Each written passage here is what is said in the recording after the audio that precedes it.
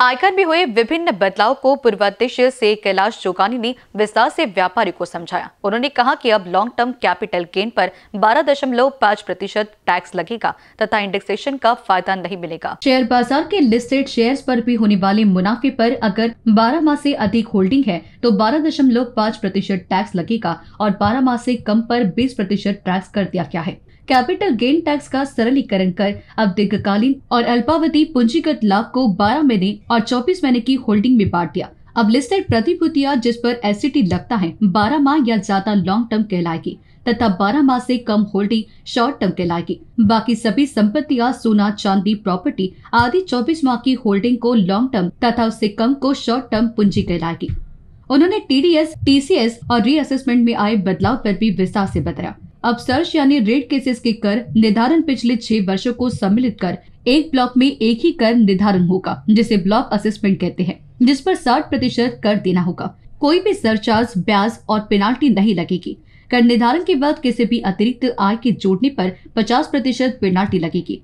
जोगानी ने कहा कि सर्च कराधान को सरल बनाने का उपाय क्या क्या है। उन्होंने नई कर प्रणाली के करों के दरों के बारे में बताते हुए कहा कि 70 प्रतिशत करदाता नई कर प्रणाली का लाभ दे रहे हैं। आने वाले समय में पुरानी कर प्रणाली खत्म कर दी जाएगी। बजट में वित्त मंत्री जी ने कहा कि जल्द ही नई संशोधित प्रत्यक्ष कर संहिता लाई जाएगी व पुरानी आयकर एक्ट उन्नीस सौ इकसठ की जगह लेगी। जोगानी ने बताया कि वित्त मंत्रालय के राजस्व सचिव संजय मल्होत्रा ने बताया कि संशोधित प्रत्यक्ष कर संहिता का पहला मसौदा छह महीने में परामर्श के लिए साझेदारों के बीच रखा जाएगा।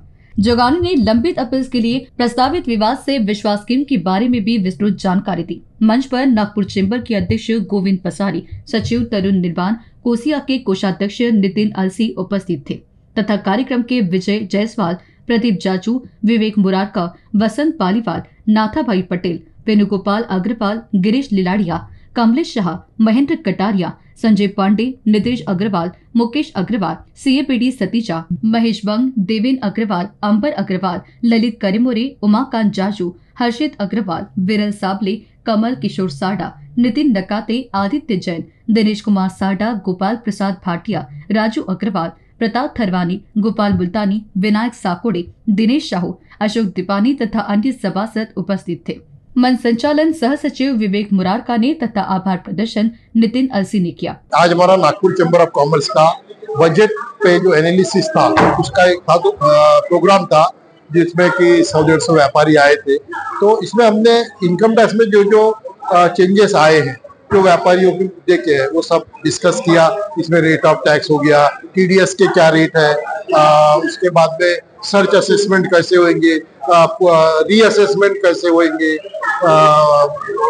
और लोगों को कैपिटल गेन में जो आया है शेयर बाज़ार में कैपिटल गेन में जो चेंज हुआ है capital long term capital gain क्या होगा शॉर्ट टर्म कैपिटल गेन क्या होगा, सब विस्तार से हमने बताया है। ये बजट मध्ये चेंजेस आले हैं, जो बजट में चेंजेस आए हैं एमएसएमई से लेके रिलेटेड वो एमएसएमई को बढ़ावा देने के लिए एमएसएमई को जो तकलीफें हैं फंड्स की तकलीफें शॉर्टेजेस है स्किल वर्कर की है स्किल्ड मैन पावर की है, इसे दूर करने के लिए बहुत अच्छे चेंजेस लाए हैं, जिसका हम स्वागत करते हैं। लेकिन कुछ चेंजेस जो अपेक्षा के अनुरूप नहीं आए जो 43 डीएच है, जिसमें 45 दिन के अंदर पेमेंट देना होता है एमएसएमई वालों को, उसके बारे में हम लोग बहुत आतुरता से राह देख रहे थे कि इसके बारे में कुछ क्लैरिफिकेशन आएगा चेंजेस आएँगे, इसे लिबरल किया जाएगा। वो चेंजेस आए नहीं। हम लोग अपेक्षित कर रहे थे कि चेंजेस आएँगे, पर आए नहीं। इससे आज भी माइक्रो और स्मॉल जो बिजनेसेस है इंडस्ट्रीज़ है, छोटे उद्योजक है, इनको काफ़ी तकलीफ़ हो रही है। लोग उनसे माल नहीं ले रहे। इसके बारे में माननीय वित्त मंत्री ने बहुत जल्द निर्णय लेना चाहिए।